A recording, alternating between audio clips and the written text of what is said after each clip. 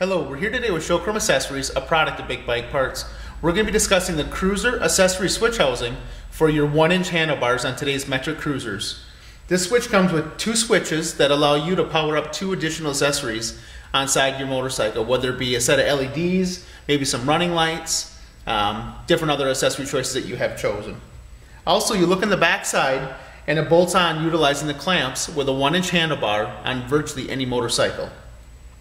You have four wires that are approximately five feet in length that will allow you to get it back to the battery or an accessory power block. Your red wire, which has a fuse link in it, will go to the battery or accessory power block. Your bra, uh, black wire, excuse me, will go to any ground that you can find in the motorcycle. Maybe it's a bolt and or the battery. And your white and blue wires will power up any accessory that you would need to have on your bike. If you're wiring in a set of 55 watt driving lights, you will want to utilize a relay and wire harness for this.